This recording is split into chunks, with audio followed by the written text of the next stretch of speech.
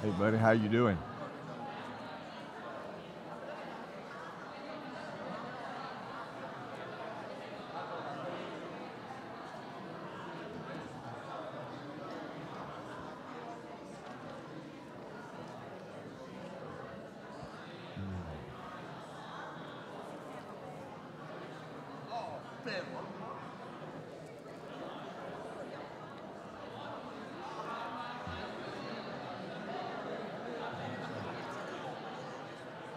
Good morning.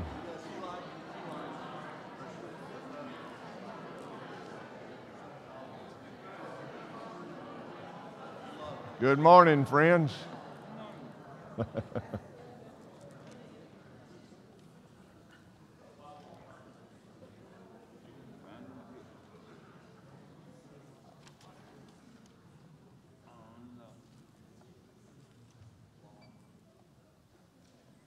I see a few elders in here. I, we need a speaker in the foyer where when church starts and announcements, we can know that it started. I'll have to repent. This morning I was standing in the foyer talking and I didn't realize the announcements had started. But, uh, so I apologize to those on the back row that couldn't hear the announcements. But uh, maybe we can do something to rectify that. I visited a church in Virginia one time and the Bible class teacher was sitting on a stool. And I thought, when I get that old, I'm going to quit. well, I'll repent. I'm not going to quit. Uh, sometimes you just have to kind of relax and sit back. Brad said a while ago, this is a great day, isn't it? And it's a wonderful day. And uh, it's a good day to rejoice and, and praise God and to be here with Christian family to, to look at His Word. If, if you have your book, we're going to be somewhere around page 351. You know, I don't follow the book very closely, but uh, our material that we'll be using starts on 351 today. Uh, if you uh, if you don't have a book, I'll tell you what uh, uh, where to go in the Bible in just a moment. But uh, it is um, it's a blessing to be here. What a great day it is. We have many things to be thankful for. Uh, let's, let's start with prayer. Father, we do not have enough words or enough time to express to you how much we love you.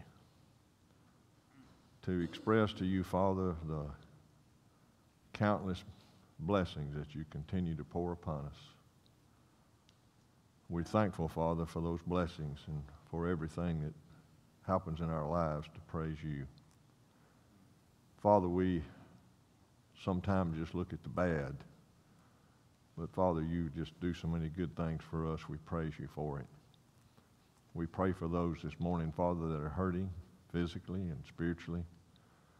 Uh, we pray that they can have some healing. But Father, we know that uh, as life goes on, it's our desire to serve you, to love you, to tell others about you, where when this life's over, we can come to heaven. Thank you so much for loving us. We pray in Christ's name. Amen. I want to, sometimes I'll get home and go over the lesson and I'll think, well, I meant to say this. So I want to go back to Mark chapter 4, verse 23. I meant to make some comments on that when we finish the explanation of the parable of the sower. Uh, Sunday morning, right now, we are in the parables. Uh, we'll be getting out of those starting next week. Lord willing, we'll finish them today. But uh, at the end of the explanation of the parable of the sower in Mark chapter 4, verse 21, Jesus said, If anyone has ears to hear, let him hear. And I don't remember us commenting on that verse. But that's an important verse for us to keep in mind. And he said that several other times after parables. If you have ears, you need to hear. The parable of the sower was a complicated parable. A lot of them are very simple. They're just one thought and one. But the parable of the sower, that this, he went out to sow seeds, is a little complicated. Because it talks about there's so many possibilities of that seed after it's sown. There's hard ground and rocky ground and thorny ground, and there's good ground. And so that was quite a parable. And Jesus said at the end of it, if you have ears, you need to hear. I was reading in our book, and it says, Take care of what you listen to. And I thought, now that's not scripture. You know, it's he who has ears, let him hear. This idea of take care of what you listen to, that's not scripture. But then I looked at the next verse. I, I have the New American Standard Version. And the next verse, after he says, If anyone has ears to hear, let, let him hear, he says, And he was saying to them, Take care what you listen to. Take care what you listen to. Are there some things that we should not listen to? I see a few heads going up and down this way. Uh, maybe Channel 6 News might be on that list. CNN. CNN. Uh, we disconnected the cable, so we have very limited channels, but I still have Channel 6, and I will turn the news on once a week or so. And they have the same format every time. First thing they give us where all the shootings were and what time. Uh, for your younger people, I've noticed this most of the real trouble starts after midnight. Uh, you know, it starts off, well, when they left at 2 o'clock this morning, they were okay. You know, 2 in the morning, y'all be in bed asleep. Uh, someone asked me this morning if I watched the Auburn game, and I said, Are you kidding? I went to bed at 8.15 last night. We had a long trip yesterday. We came up from the lake. It's almost a two hour drive. I needed to relax and go to bed. But I want to take this scripture a little bit out of context. He says, if you have ears, you need to listen. You need to listen to the Word of God. But be careful what you listen to. And I, I want to say that this is really for the young folks, but it's not. It's for all of us. But be careful what you listen to. Be careful what kind of movies you watch, because you're watching them and you're listening to them. Be careful with that. Because our, our brain is somewhat like a computer. Whatever goes in there is what's going to come out. And so we got to be careful what we listen to. But we got to be attentive and listen to the things that we need to listen to. Listen to God's Word. God is love. God is light. In him is no darkness at all. You know, if we walk in the light as he is the light, the blood of Jesus continually cleanses us from all sins. Today is the day the Lord has made. Let us rejoice and be glad in it. My kids text me that about every other day. Me and Linda, when we go to bed at night, the last thing we pray is, God, give us a good night's rest and wake us up tomorrow. And our first prayer in the morning is, God, thank you for answering our prayer. We get another day. And so every day counts. But as, as Christians, as individuals, we need to be careful where we go, what we say, and according to Mark, according to the words of Jesus, be careful what you listen to. Any comments about that? I'm sorry I stepped back a little. Okay, got a hand.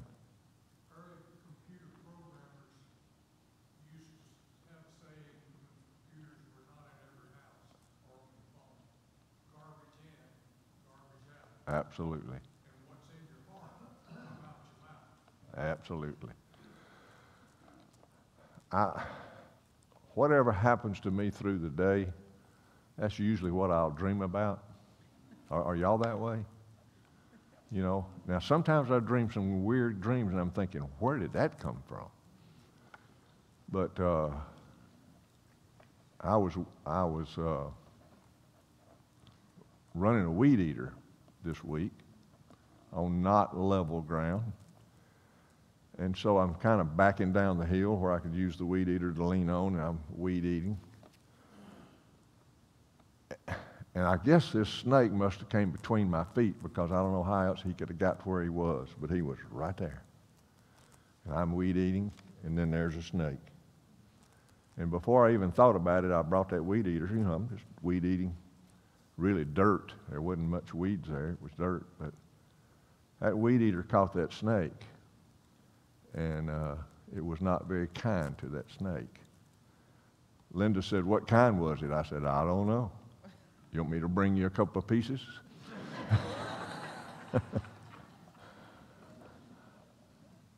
but guess what I dreamed about that night? Snakes. What a horrible thing to dream about. What a horrible thing. Sometimes I'll watch NASCAR, you know, where they get on the rent, they just turn the left for three or four hours running 200 miles an hour. And when I go to bed, guess what I dream about? I'm a NASCAR driver. Be, be careful what you listen to. He who has ears, let him hear. The next parable that we talked about last week was the parable of the mustard seed. And what a great parable this is. We covered it last week, but I want to uh, reread it. Uh, Matthew, I'm on page 351, Matthew 13, 31. He presented another parable to them. Now, Jesus is speaking to a crowd, and he just one parable right after the next. The kingdom of heaven is like a mustard seed. A man took and sowed it in his field, and this is the smaller of all other seeds. And when it was full grown, it was larger than the garden plants and became a tree, so that the birds of the air came and nested in its branches. And what we said about that parable was the lesson for us is the mustard seed was very small, but it grew into something large. When, the, when, when Christianity started, when Jesus was crucified, buried, and resurrected, Christianity was very small. Jesus had 12 men that was his followers, and even one of them betrayed him. And so when the, when the church started, it was very small. But guess what? It grew to be very large. The first gospel sermon preached by Peter in Acts chapter 2, there was 3,000 souls baptized. And you read on down, it says, and the numbers were multiplied. Now, I don't care what number you multiply 3,000 by, it's going to be a big number. That's right. In the beginning, Jesus had 12, a very small start, just like a mustard seed. But look what the church has done. It has spread and has grown, and it's such a wonderful thing. And so, little things are important. Now, the next parable is only found uh, in Matthew. He spoke another parable the kingdom of heaven is like leaven. The kingdom of heaven. Now, what is the kingdom? It's the church. The church is like leaven. A woman took it, hid it in three pecks of flour until it was leavened.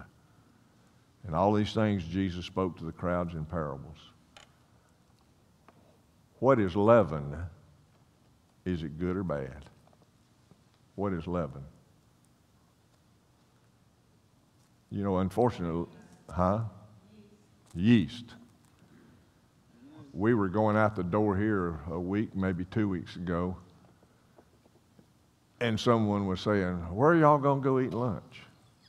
You know, we go to McDonald's or, you know, whatever to eat lunch. And somebody said, the days of the pot roast are over. You remember back in the good old days? You had a pot roast and you put carrots in there and potatoes and, and you left that thing on low. And then when church was over, you went home and you had pot roast. But if you can remember back, we used to have them homemade rolls. And they stayed in the pan uncooked till we got home. And they were stuck in the oven. And if the leaven had done its job, they had puffed up real nice. So we had pot roast and carrots and potatoes and this good leavened bread. Well, now then, we what's those things we buy? Kind of sweet Hawaiian rolls. Is that the name of them? Hawaiian rolls. Now we buy Hawaiian rolls for lunch. And then whatever's left over, we make something else out of them. Uh, we went to someone's house this week and uh, they had uh, gumbo, and she had a dessert, and it was uh, bread pudding. Man, I, I remember good, good bread pudding. But this was bread pudding. But as she's explaining to us, she says, that's all the biscuits that we had left over. The biscuits didn't taste good, so I made bread pudding out of them. I hope they taste better in the bread pudding. Well, I'm glad they were very good. I wish she hadn't told me that. But leaven is important. A little leaven leavens the whole lump. Have you heard that verse? It's in there twice. A little bit of leaven leavens the whole lump. Now, sometimes leaven is bad, is it not? Remember what Jesus says Beware of the leaven of the Pharisees. That leaven was bad leaven. So, what really is leaven? It's yeast. But in the parables, it represents words. The leaven that permeated the kingdom, this writer says, is love. You take a little bit of love, you put it into a group of people, and it's going to permeate. It's going to permeate. Do, do we love each other? We need to love each other more, I'm sure, but we love each other. We try to take care of each other. Love permeates. Well, what kind of leaven did the Pharisees have and the Sadducees?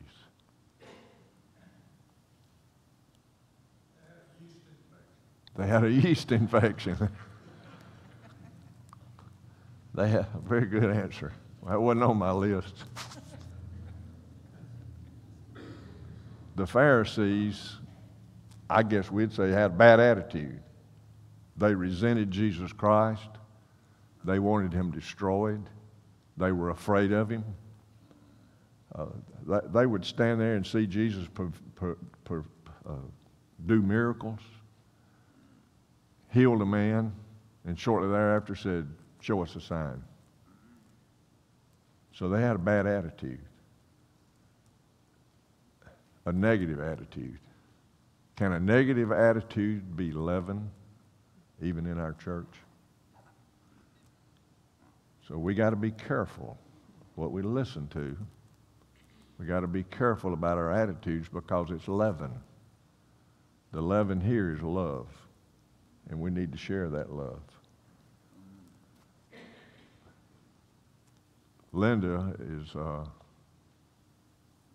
still trying to learn the hard way of why we hug so much. Love comes from God, and God is love. That's right. Love comes from God, and God is love. And we love each other. Oh. And so what do we do? Right. We shake hands. Mm-hmm. We give each other a hug. We give you a, it's good to see you. Sometimes in our coming and going because of the size of the room. Sometimes we're sort of kind of rush that a little bit. But when people look at you and say, how are you doing? I normally say, I'm doing fantastic. You know, I, have got neuropathy where I can't feel my feet. You know, James Pepper, our dear brother in Christ here, fell this week. Bless his heart. I don't want to fall and break a hip. That's why I'm sitting on this stool. But when you ask me how I'm doing, you don't want to hear about neuropathy. You don't want to hear about an upset stomach. Don't have that right now, but what, what do you want to hear? I'm doing pretty good. It's good to see you. I love you. Leaven in the church is love, and love will spread.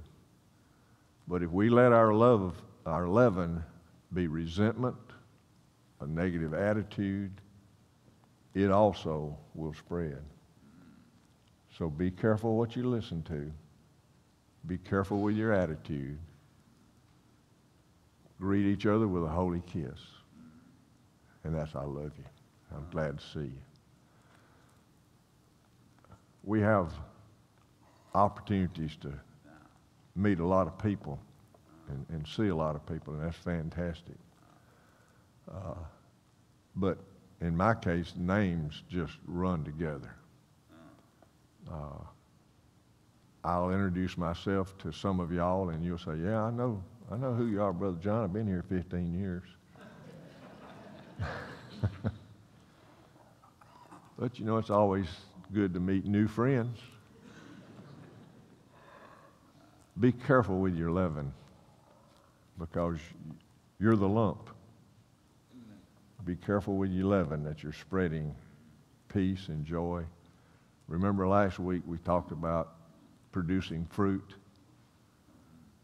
The fruit of the Spirit is love, joy, peace, comfort.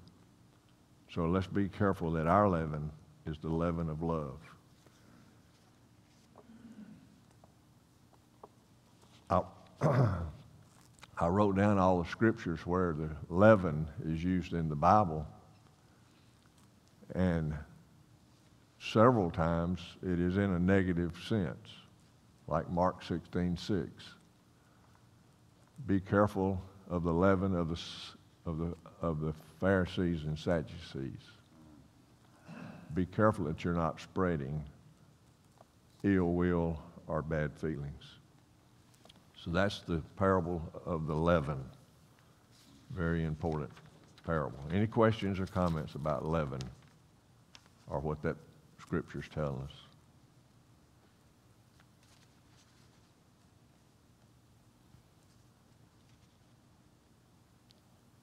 I circled this right here in the book and said, be sure to read this, I guess I better read it. It says, the parable, I'm on page 352, the parable of the leaven, the setting, uh, uh, setting changed from a farmer sowing his seed in the field to a woman making bread. A word of explanation is in order for this unfamiliar with bread making uh, prior to prepackaged yeast. When a woman made bread, she pinched off a small piece of the dough, kept it wrapped in a warm place. The next time she made bread, she worked a small piece into her dough and set the dough aside. The leaven would spread throughout all the dough, causing it to rise.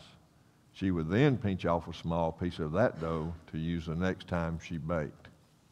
And so leaven is a continuing process that and, and where it goes, it makes a difference. We are Christians, we are leaven, and wherever we go, we should make a difference. Spreading love, spreading cheer, being positive. Any, any other comments? Bottom of page 352, the parable of the treasure. The kingdom of heaven is like a treasure hidden in a field, which a man found and hid it again, and for the joy over it, he goes and sells all that he has and buys that field. Again, the kingdom of heaven is like a merchant seeking fine pearls. Upon finding one pearl of great value, he went and sold all that he had and bought it. We're talking about the kingdom of, of heaven. We're talking about the church. It's like a hidden treasure. Sometimes I just can't figure out why I am so blessed that someone loved me enough to share with me the gospel. Because the gospel is a treasure. And whatever it cost for us to become a Christian and walk the Christian life, we need to expel that cost. Here's a guy that found a treasure and he went and sold, he sold everything he had to get that treasure. It's sort of like if we're going to become a Christians, we got to go all in. We got to go all the way. Yeah, Christ is God's Son. He died for us. He's our Savior. By the grace of God, He sent Jesus into the world, and we have salvation through Jesus. And when we see that treasure, we should not hold anything back in serving God. On page 353, it says, The rest of the parables in Matthew 13 have been spoken privately to the disciples. The first of these go together. Both are men who located something of great value. First man unearthed a treasure accidentally. And while the second man found a long sought gem. In each case, a man recognized the worth of what he had discovered and he paid the price to acquire it. These parables teach that the treasure of the salvation in the gospel can be found. Some find the gospel or the treasure accidentally, while some find it because they are searching for it. Perhaps the most common way people find the truth is usually are not looking for it through an associate with a friend or a mate. We, we all could share our stories of how we became Christians and, and, and how things worked out for us as we became that Christian. Uh, I, I had told you that uh, I had a friend, Miss Farley, that picked us up when we were little bitty kids, and we'd go to church with her from time to time. And she went to the West End Church of Christ. And when I got old enough to drive, I didn't go with her anymore. And from then to the age of 24, I didn't worship anywhere. I was just a heathen. Didn't, didn't care nothing about God or worshiping. And I got married to this young lady. And she says, We need to go to church somewhere. She said, I don't care where we go, we need to go somewhere. And so I thought, well, only place I know is the West End Church of Christ. And I think I'll take her there. And you know, I hate to admit this to you, but in the back of my mind, I thought, I'll take her there. She won't like it there. It's a bunch of old people. She won't like it. We won't have to go back. I'll repent again. There was a couple, we lived in Irondale. West End Church of Christ was way on the other end of town. We drove over the, now listen to this, brethren. The day we visited, we left the church building and we drove home. We didn't go out to eat. We just left the church building and drove to our home in Irondale. And there, standing on our front porch, was a couple knocking on our door. And Frida says, I think I saw them in Bible class. True story. I drove around the block hoping they'd leave. and I came back. They're still knocking on the door. Now, we did live close to Krispy Kreme. And after midnight, they went on sale for half price. And so we did have a habit, being young, of getting Krispy Kremes after midnight. And we had done that Saturday night. And so as they came into our apartment, on the little table thing you have there, there's a box of open, an empty box of Krispy Kreme donuts. You know, you can see right where the donut was. So we had to apologize for that. But that couple lived in Irondale and they, they were in Bible class where we were at. And they visited us. they were leaven. They were leaven. They were spreading it. And you know, they invited us to come back to church Sunday night. And I remember going, Sunday night? Y'all go at night too? now, this was 1967, about January. I was driving a 66 Super Sport Chevelle. Four in the floor, nice engine, nice car. And I said, Well, we, we probably won't come to church tonight. You know, I got that old car. I don't, I don't know. I don't, I don't think I'd like to drive over there. And, and his, this guy's name was Steve, and he said, That's no problem. We'll pick you up. he was 11. Steve's not the one that taught me the gospel, but he sure led me there. He was 11.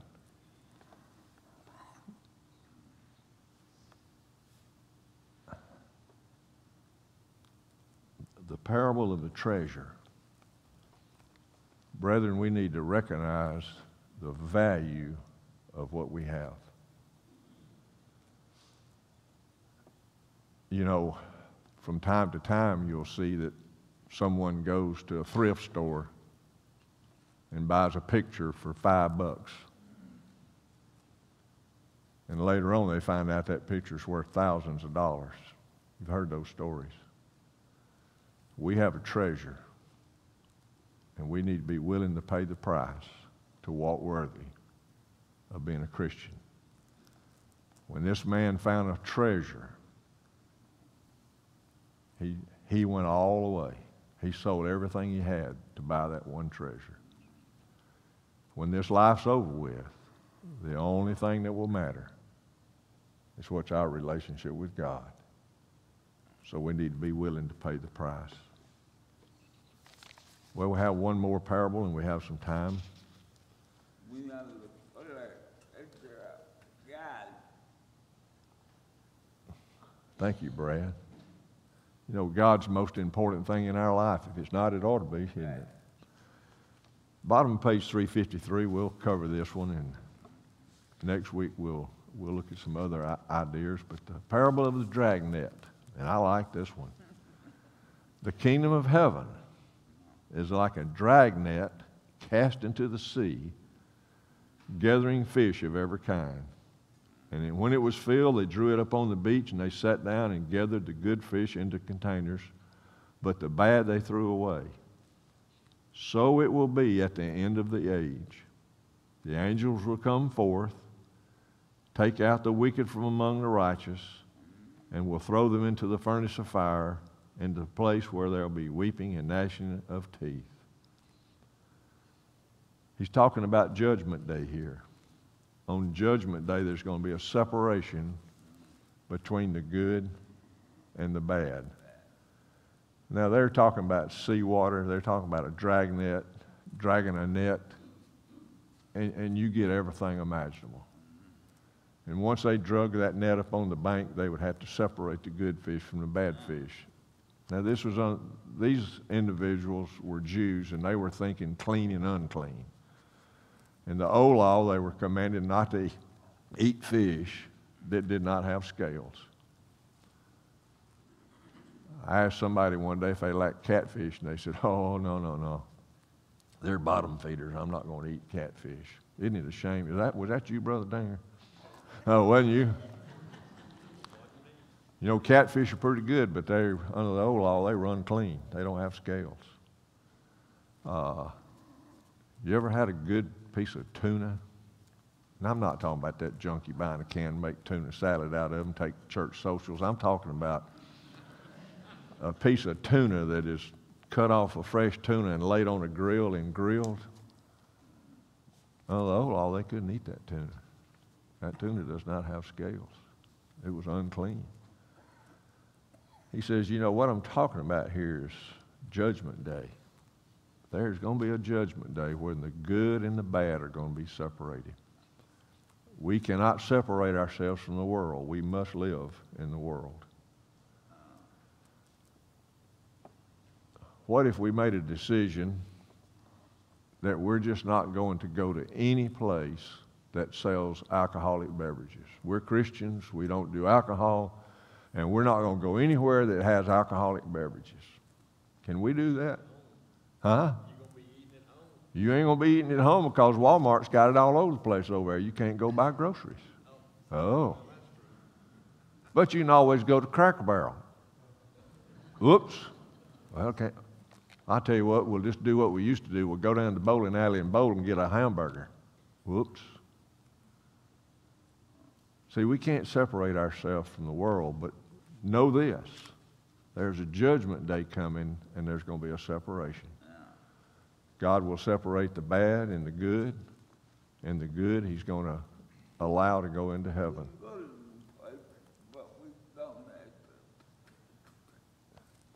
I'm glad Brad said that. We can go these places, we don't, just don't have to participate. Still makes me feel kind of weird, Brad, to be sitting in Cracker Barrel eating breakfast and the guy next to me is drinking a beer. You know, it's just, I just can't quite get there. Beer and eggs just don't seem like it ought to go together. But it's, uh, we, we cannot separate ourselves from the world. But what he's saying in this parable is there's going to be a separation. Oh, yeah, So you, you got a treasure. yeah. You got a heart. There's hardened hearts and good hearts. You keep, you keep massaging your heart to where it will be good ground. You know, I told you I planted the seeds. That two bag, of seeds I had two weeks ago, well, I planted them. And I've been watering them twice a day when I was at the lake. And yesterday I told Linda, I said, oh, oh, I want to show you something. Come here and look. I said, if you use your imagination, you can see the grass growing. It's about that tall. But as I was looking at it yesterday, I, I found a spot where there's no, and I know I put seeds there, it's no grass. But I realized it had a coating of gravel there. So I got me a rake, and I raked that gravel off, and guess what was under the gravel? More gravel. So I raked that first gravel back over there, and I thought, ain't gonna be no grass here. Because, see, we have to keep, I, I'll go back and I'll dig that gravel out and I'll put some dirt there. I'm gonna work on that hillside till I have grass there. I've got some, but I gotta keep working on that, those rocks and those weeds. That's the way our heart is. We've obeyed the gospel, we're Christians, but we gotta keep digging them rocks out. We got to keep separating those thorns out of our lives. We got to walk worthy because we have a treasure. And that treasure is salvation in Jesus Christ. And in Ephesians chapter 2, he explained that very clearly. By the grace of God, when we were yet in sin, he sent Jesus to be our Savior. And we're saved by grace, not by anything we do. What a treasure we have. And these parables remind us if you have ears, listen to the scriptures. Be careful what you listen to. Let's close with prayer. Oh, I, uh, next week we'll, we'll be, we're going to be way over there uh, in a new section. Uh, I'll find it in a second. Well, on page, we'll start page 367. You got that, Brother Scott? Okay, got it. Page 367. Let's close with prayer. Father, we're blessed and we, we know that, and we stand in awe of your greatness. Father, we are thankful that we can continue to pa- prepare our heart to serve you. Father, help us to be worthy of, of being a Christian wherever we go. Father, we have to go places that uh, where there's sin, but we, we're not going to participate, Father. But we love you and we thank you for your grace and your mercy. Thank you for this time that we have together to look at your word and to hear what it says. Bless us this day in your grace is our prayer in Christ's name. Amen.